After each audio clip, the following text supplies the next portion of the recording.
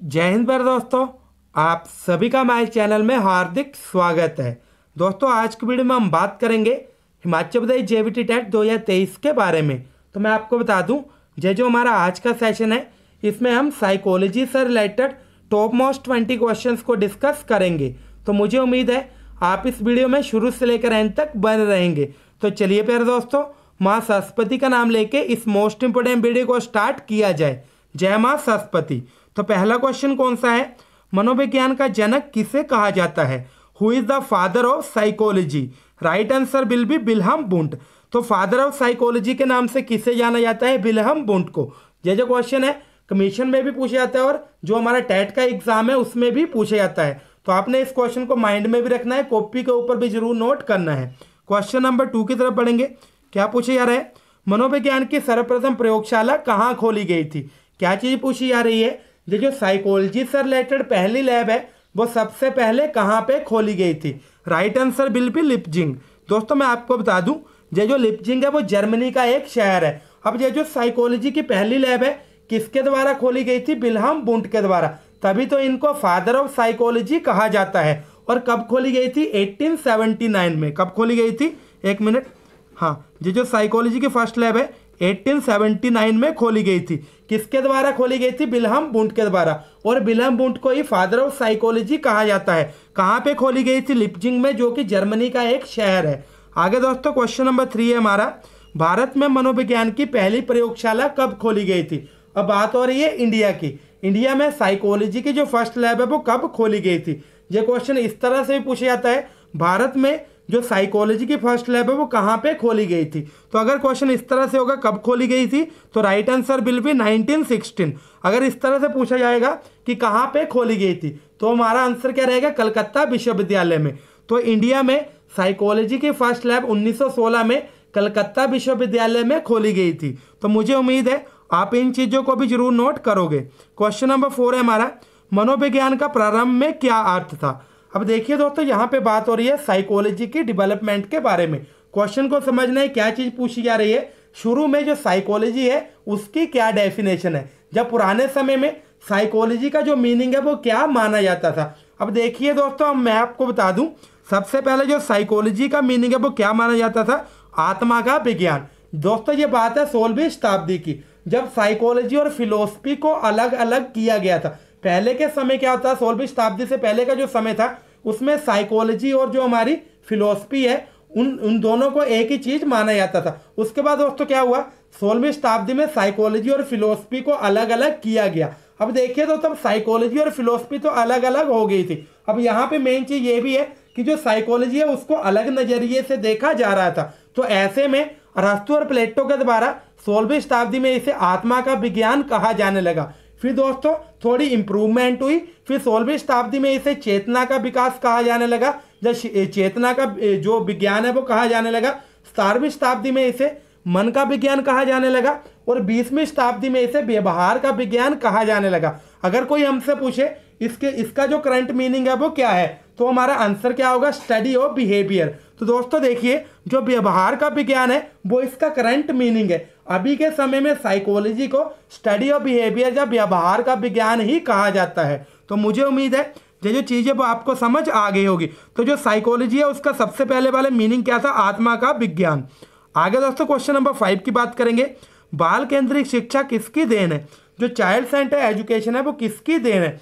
अब देखिए दोस्तों, सबसे पहले हमें इस चीज़ का पता होना चाहिए चाइल्ड सेंटर एजुकेशन क्या है? अब देखिए दोस्तों, बच्चे भी स्कूल जाते हैं और टीचर भी स्कूल जाते हैं। तो यहाँ पे टीचर क्यों स्कूल जाते हैं? क्योंकि दोस्तों, कहीं ना कहीं उनके जो सारे एफर्ट्स है, वो बच्चों के लिए ही होते हैं। जो टीचर है, उसको अपना जो टीचिंग मेथड है, उसी तरह का अपनाना चाहिए, जिसमें जो बच्चे हैं, वो कंफर्टेबल हो। कहीं ना कहीं हमें जो भी काम है, स्कूल में रहकर हर एक काम ऐसा करना चाहिए, जिसका जो मेन बिंदु है, वो बालक ही हो, जो स्टूडेंट ही हो। उसी को हम क्या कहें? चाइल्ड सेंटर एजुकेशन अब देखिए दोस्तों, किसकी देन है? तो मैं आपको बता दूँ, शिक्षा मनोविज्ञान की। अब चाइल्ड सेंटर एजुकेशन का एक बहुत ही महत्वपूर्ण पक्ष है। हमने बच्चों को उसी तरह से पढ़ाना है, जितनी बच्चे की जो माइंड की डेवलपमेंट है, वो हो चुकी है। अब देखिए दोस्तों, बच्चा दूसरी कक्षा में पढ़ता है, और अगर हम उसको दसवीं कक्षा के क्वेश्चन करवाएँ तो सही, सीधी सी बात है, जो बच्चा वो चीज़ों को नहीं सीख पाएगा। तो देखिए दोस्तों, अगर हम दूसरे वाले बच्चे को चौथी, पांचवी क्लास वाले भी क्वेश्चन करवाएँगे तो वो जो चीज़ें हमारी चाइल्ड सेंटर एजुकेशन नहीं होगी। चाइल्ड सेंटर हमारा जो बच्चा है, वो कौन सी क्लास में है? सेकंड क्लास में। तो हमने उसी को सेंटर रख के जो अपने टीचिंग मेथड है वो अपनाने उसी को सेंटर में रख के हमने उसको एजुकेशन देनी है। तो कहीं ना कहीं ये जो चीज़ है, वो हमारी जो एजुकेशनल साइकोलॉजी है, उससे उत्पन्न होती है। अब देखिए दोस्तों, जो एजुकेशनल साइकोलॉजी है, उसमें हम क्या करते हैं, बच्चे के व्यवहार का अध्ययन करते हैं। बच्चे को पूरी तरह से एनालाइज करते हैं कि जो बच्चा है, उसका माइंड कितना है, वो कौन कौन सी चीज़ें किस किस तरह से सीख सकता है। अब अब अब आप खुद देखिए, ये जो चीज़ें हमें जो हमारी एजुकेशनल साइकोलॉजी है, उसी से पता लग रही है कि जो बच्चा है कौन कौन सी चीज़ें किस तरह से सीख सकता है। अगर हमें जो साइकोलॉजी से ये जो चीज़ें हैं, वो पता लग रही हैं तो कहीं ना कहीं जो चाइल्ड सेंटर एजुकेशन है, उसमें सबसे बड़ा जो रोल है वो साइकोलॉजी का ही माना गया है। तो कहीं ना कहीं दोस्तों, जो बाल केंद्रित शिक्षा है चाइल्ड सेंटर एजुकेशन है, वो जो हमारी एजुकेशनल साइकोलॉजी है, उसी की देन है। जो शिक्षा का मनोविज्ञान है, उसी की देन है। आगे दोस्तों, क्या पूछे जा रहा है? किस अवस्था को परिवर्तन का काल कहा जाता है? अब देखिए दोस्तों, जो हमारी डेवलपमेंट होती है, उन, उसकी अलग अलग अवस्थाएँ हैं। इसके बारे में डिटेल में मैं अगली वीडियो में समझाऊँगा। लेकिन यहाँ पे क्या पूछा जा रहा है? परिवर्तन का काल। अब सबसे ज़्यादा जो चेंजेस है, वो कौन सी अवस्था में आते हैं? तो मैं आपको बता दूँ। सबसे ज़्यादा चेंजेस है, वो किशोरावस्था में आते हैं, ठीक है? जो हमारा माइंड है, उसमें भी चेंजेस आते हैं। माइंड की डेवलपमेंट भी होती है और हमारी फ़िज़िकल डेवलपमेंट भी होती है। तो ये जो किशोरावस्था है, वो कब से लेकर कब की एज होती है? बारह से लेकर अठारह साल तक। तो देखिए दोस्तों, जो बच्चा है, उसकी सबसे ज़्यादा डेवलपमेंट है, वो कब से कब तक होती है? बारह से लेकर अठारह तक। उसकी, उसका जो माइंड है, वो भी चेंज होने लगता है। उसकी जो सोच है, वो भी बदलने लगती है। उसकी फ़िज़िकल ग्रोथ भी होने लगती है। उसके जो पार्ट्स ऑफ़ बॉडी है, उनमें भी ग्रोथ होती है। तो 12 से लेकर 18 साल की जो अवस्था है, उसे परिवर्तन का काल कहा जाता है। बंदा जो है, जो बच्चा जो है, जो भी हमारा स्टूडेंट है उसका इमोशनल वे से भी यहाँ पे चेंजेस आते हैं, ठीक है? हर एक वे से उसके जो डेवलपमेंट है 12 से लेकर जो 18 साल की उम्र है उसमें होते हैं। तो यहाँ पे इसी को परिवर्तन का काल कहा जाता है। क्वेश्चन नंबर सेवन इस क्या पूछा गया है? मनोविज्ञान का जन्म किसके समय दर्शन शास्त्र के अंग के रूप में हुआ था? अब मैंने आपको क्या बताया था? पहले के समय में जो साइकोलॉजी और फिलोसफी है, उनको एक ही चीज़ माना जाता था। तो जो हमारा दर्शन शास्त्र है, उसी को हम फिलोसफी कहते हैं। तो मैं आपको बता दूँ दोस्तों जो जो फिलोसफी और साइकोलॉजी है। इनको इकट्ठा कब माना जाता था? अरस्तु के समय में। तो मुझे उम्मीद है ये चीज़ें आपकी क्लियर हो गई होगी, ठीक है दोस्तों? अभी हम बढ़ेंगे दोस्तों हमारे नेक्स्ट क्वेश्चन की तरफ़। तो आपने कुछ चीज़ों को अच्छे से समझना है। तो दोस्तों, यहाँ पे एक और मोस्ट इंपॉर्टेंट क्वेश्चन है। क्या पूछे जा रहा है? व्यवहारवाद का जनक किससे कहा जाता है? काफ़ी इंपॉर्टेंट क्वेश्चन है। हर बार एग्जामिनेशन में पूछे जाता है। चाहे वो टीजीटी का टैट हो, चाहे वो जेवीटी का टैट हो, ये जो क्वेश्चन है, हर बार पूछा जाता है। जो व्यवहारवाद है, उसका फादर किसे कहा जाता है? वोटसन को। आगे दोस्तों क्वेश्चन नंबर नाइन है। क्या पूछा जा रहा है? मनोविज्ञान को व्यवहार का शुद्ध विज्ञान किसे कहा था? यहाँ पे भी क्या चीज़ आ रही है? व्यवहार की। कहने का मीनिंग ये है, जो बोटसन है, उन्होंने किस चीज़ की तरफ़ बल दिया? उन्होंने ये कहा, जो साइकोलॉजी है, उसका जो मेन मुद्दा है, वो व्यवहार ही है। हम साइकोलॉजी के साथ बंदे का जो व्यवहार है, उसको नोट करेंगे, फिर उसको नोट करके हम ये चीज़ देखेंगे कि उसके व्यवहार में क्या क्या कमियाँ हैं। फिर उसको चेंज करने की हम ट्राई करेंगे। जो हमारा वोटसन है, उसका यही कहना है। तो यहाँ पे भी बात हो रही है, मनोविज्ञान को व्यवहार का शुद्ध विज्ञान किसने कहा था? किसने ये चीज़ कही थी? जो मनोविज्ञान है, जो साइकोलॉजी है, वो हमारे व्यवहार का शुद्ध विज्ञान है। तो दोस्तों, यहाँ पे बात हो रही है बोटसन की, ठीक है? जो देखिए दोस्तों, अभी हमने क्या रीड करा?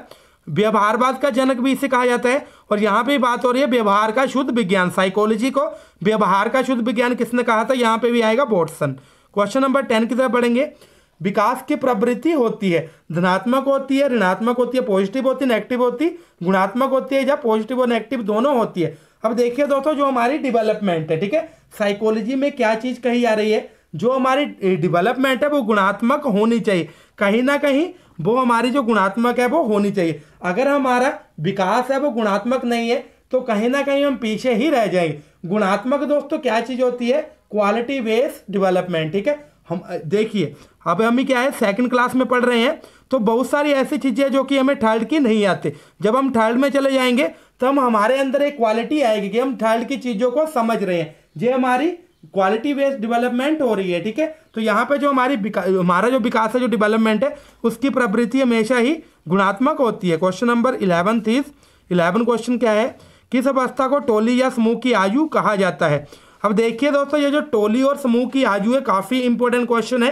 कई बार ये जो क्वेश्चन है वो एग्जामिनेशन में पूछा जाता है। तो दोस्तों, मैं आपको बता दूँ राइट आंसर विल बी बाल्यावस्था। अब देखिए दोस्तों, जो हमारी बाल्यावस्था रहती है, वो कौन कौन से साल की अवस्था है? तो मैं आपको बता दूँ, बाल्यावस्था को तीन से लेकर बारह साल की जो अवस्था है, वो कहा जाता है। इसमें क्या होता है? जो बच्चा है, टोलियों और समूहों में रहना शुरू हो जाता है। स्कूल में जाता है, वो अपना एक फ्रेंड सर्कल बना लेता है। जैसे तीन स्टूडेंट्स का वो एक सर्कल बनाएगा जो कि उनके फ्रेंड्स होंगे, ठीक है? इसी तरह से वो टोलियों में बंट जाता है, वो समूहों में बंट जाता है।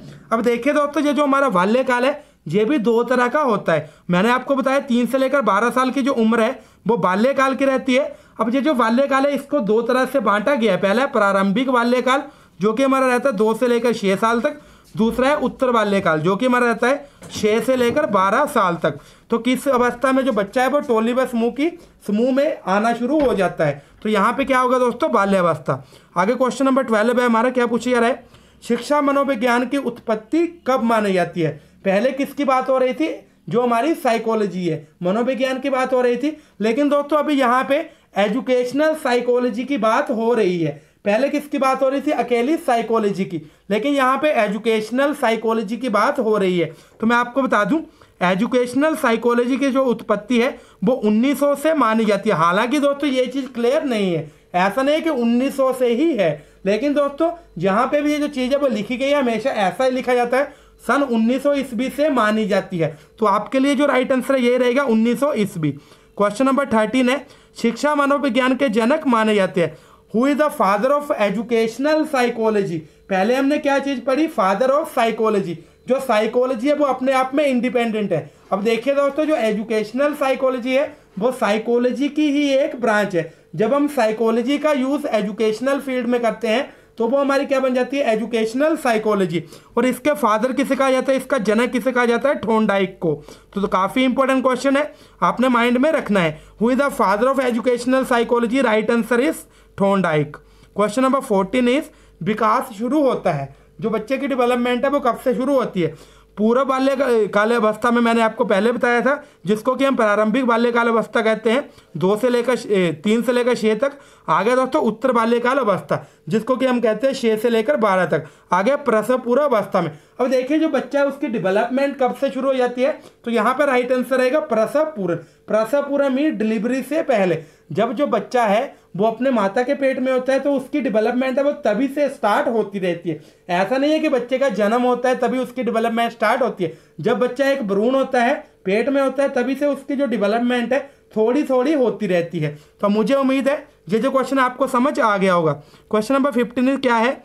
सबसे पहले, अपने आप को मनोवैज्ञानिक किसने कहा था? सीधी सी बात है, जो कि फादर ऑफ़ साइकोलॉजी है, उसने ही सबसे पहले अपने आप को मनोवैज्ञानिक कहा होगा। Right answer will be Wilhelm Wundt जो बिलहम बुंट है, उन्हीं ने, जो साइकोलॉजी की फ़र्स्ट लैब है, वो खोली थी, उन्होंने साइकोलॉजी की खोज की थी और उन्हीं उन्होंने ही अपने आप को सबसे पहला जो मनोवैज्ञानिक है, वो कहा था। आगे दोस्तों क्वेश्चन नंबर सिक्सटीन है क्या पूछे जा रहा है निम्नलिखित में से, मनोविज्ञान को मन का विज्ञान किसने कहा था?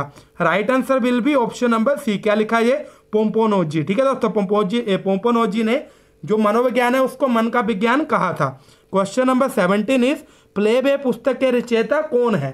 काफ़ी इंपोर्टेंट क्वेश्चन है। Who is the writer of play way book right answer will be Henry Cook जो हमारा ऑप्शन नंबर डी है, वो बिल्कुल ही सही रहेगा। क्वेश्चन नंबर एट्टीन इज़ क्या पूछा रहा है? निम्न में से शिक्षा का केंद्र बिंदु क्या है? अब देखिए दोस्तों चाइल्ड सेंटर एजुकेशन है तो सीधी सी बात है जो शिक्षा का केंद्र बिंदु है, वो बालक ही रहेगा, बच्चा ही रहेगा। क्योंकि आजकल जो एजुकेशन है, वो हमारी चाइल्ड सेंटर एजुकेशन ही चली हुई है, ठीक है दोस्तों? तो यहाँ पे राइट आंसर बिल भी बालक। क्वेश्चन नंबर नाइनटीन है, क्या पूछे जा रहा है? तो यहाँ पे राष्ट्रीय मानसिक विकलांग संस्थान कहाँ पे स्थित है? राइट आंसर बिल भी हैदराबाद। आगे दोस्तों, क्या पूछे जा रहा है? क्वेश्चन नंबर ट्वेंटी में, तुम मुझे कोई बालक दे दो और मैं उससे कुछ भी बना सकता हूँ। ये जो दावा है, वो किसका है? अब देखिए, जो साइकोलॉजी है उसके बेस पे जो बंदा है, किस तरह की स्टेटमेंट दे रहा है, बंदा कितना कॉन्फिडेंट है, क्या चीज़ कह रहा है, आप मुझे कोई भी एक बच्चा दे दो, मैं साइकोलॉजी का यूज़ करके उसे जो चाहे बना सकता हूँ। जैसा आप बोलो, मैं उसका बिहेवियर वैसा बना सकता हूँ। तो मैं आपको बता दूँ, ये जो स्टेटमेंट है, वो बोटसन के द्वारा दी गई है। दोस्तों, अगर आपको चीज़ें समझ आई है, वीडियो अच्छी लगी है तो आपने वीडियो को लाइक करना है, अपने फ्रेंड्स के साथ भी शेयर करना है। और हमारे चैनल को भी ज़रूर सब्सक्राइब करना है और आगे के अपडेट्स के लिए आपने बेल आइकन को भी ज़रूर दबाना है। तो दोस्तों थैंक यू जय हिंद, जय भारत, जय हिमाचल।